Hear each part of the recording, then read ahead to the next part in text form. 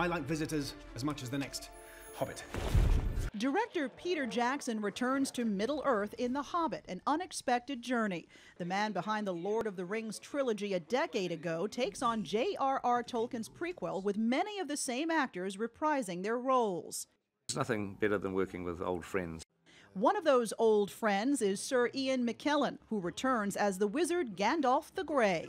Once I'd put the false nose on and the wig and the moustache and looked at myself in the mirror, there he seemed to be uh, as if he'd never gone away. Martin Freeman plays a young Bilbo Baggins, a character Ian Holm created in The Lord of the Rings. I'm going on an adventure!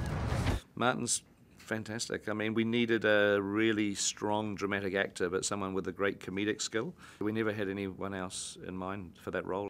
The film follows Baggins, Gandalf, and a band of dwarfs as they battle all kinds of creatures to reclaim their homeland. Freeman says battling real monsters might have been easier than trying to fight Jackson's vision. Do you have a disagreement with him about you know how a scene should be gone.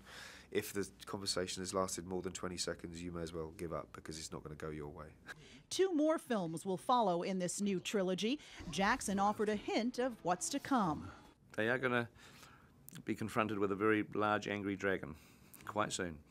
But at just under three hours long, an unexpected journey offers plenty of thrills. Alexis Christoforous, CBS News.